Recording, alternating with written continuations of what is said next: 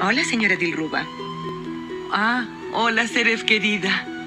Es un agrado verte. Creo que estás extrañando mucho este lugar. Nos visitas bastante seguido últimamente. Mm, no estoy de visita. Volví a mi casa, señora Dilruba, y no me iré de nuevo.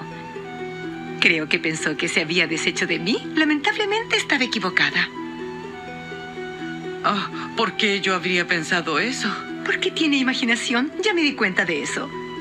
Usted sabe mejor que nadie que no es bueno dejar la casa abandonada. ¿Está de acuerdo conmigo?